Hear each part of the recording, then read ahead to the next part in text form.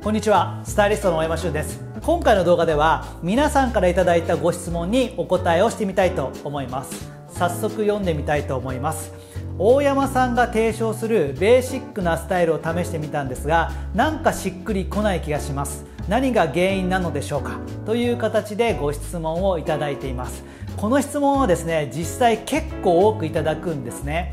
例えば僕が提唱しているようなスタイルというとネイビーのジャケットに対して丸首のニットそしてボトムスはブルージーンズですとかブラックジーンズのような着こなしですね。こういった着こなしというのは基本的には大人の男性には誰にでも似合いやすいものなんですがそれでもいまいちしっくりこないなと感じる方がいるのも事実なんですね。これはなぜかと言いますと人の印象というのはファッションだけで決まるものではないからなんですね。それ以外にも様々な項目があってその中の一部としてファッションがあるというだけなのでファッションだけが素敵でもその他の項目がいまいちだとなんとなくファッションが似合わない感じがしてしまうのかなというふうに感じています。では具体的にどんな項目があるかと言いますとまずは顔立ちですね。で2つ目がスタイルの良し悪しですね。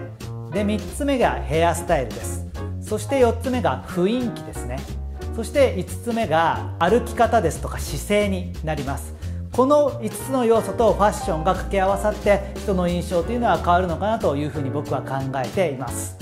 でこの中で変えられるものと変えられないものがあるんですね。例えば顔立ちって簡単に変えることができないのかなと思います。もちろん変えられないことはないですね。日本国内でも韓国に行ってもですね美容整形をすれば顔を変えることができるんですがあんまり手軽ではないですよね。あと2つ目の体型というのもなかなか変えづらいです。僕は身長164センチなんですけどこれ以上今から身長伸ばすのはなかなか難しいですしちょっとぽっちゃり体型の方が痩せるというのもそれなりの時間と手間がかかるので手軽ではないのかなと思っています。あと雰囲気なんかもそうですね。これも持って生まれたものだとかこれまでの人生の積み重ねで雰囲気っていうものが醸し出されるものなので簡単に今すぐ変えられるものではないのかなと思っています。ではこの中で簡単に変えやすいものは何なのかと言いますとヘアスタイルと歩き方姿勢なんですね。この2つは今からでも変えようと思えば簡単に変えることができるのかなと思っています。特にヘアスタイルは重要度がものすごく高いです。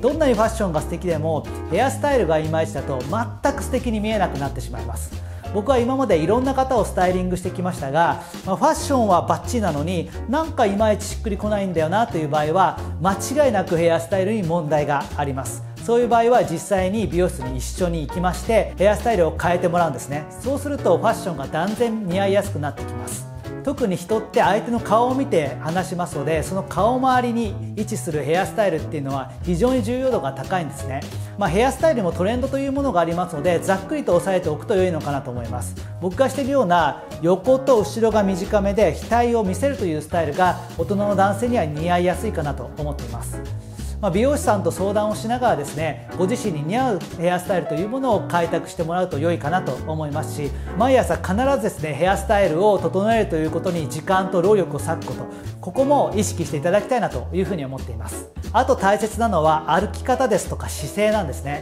まあ、姿勢が悪くて猫背だとどうしても自信がなく見えてしまいますし服が似合いづらくなってしまうんですね。ですので歩き姿だとか姿勢というものは必ず意識していただきたいなと思っています。背筋を伸ばして堂々と歩くようにしていただくとそれだけで服が似合いやすくなりますのでぜひ意識をしていただきたいなと思っています。姿勢が良いとなんか雰囲気も違って見えるんですね。自信があるように見えたりですとか活発なイメージになったりしますのでぜひ歩き方ですとか姿勢に関しても意識をしていただきたいなというふうに思っています。このように人の印象というのは様々な項目の掛け算によって成り立つものです。いくらイケメンで高身長であってもヘアスタイルがボサボサでファッションもいまいちそして姿勢が悪かったらやっぱり素敵には見えないんですね。一方でどんなにこう顔立ちだとかスタイルが悪くてもファッションが素敵でヘアスタイルも整っていて自信のある振る舞いをしているとそれだけで素敵に見えてしまうんですね。そういう方も皆さんの周りには必ず1人や2人はいるかなと思います。持って生まれた才能的なもの顔立ちだとかスタイルで勝負するのではなくて後天的に身につけられるヘアスタイルですとか歩き方ですとかファッション。こういったもので勝負をするというのが僕たち30代40代の男性には非常に大切だと思いますのでぜひ頭の片隅に置いていただければなと思っています。以上スタイリストの大山俊でした。よかったらチャンネル登録の方もよろしくお願いします。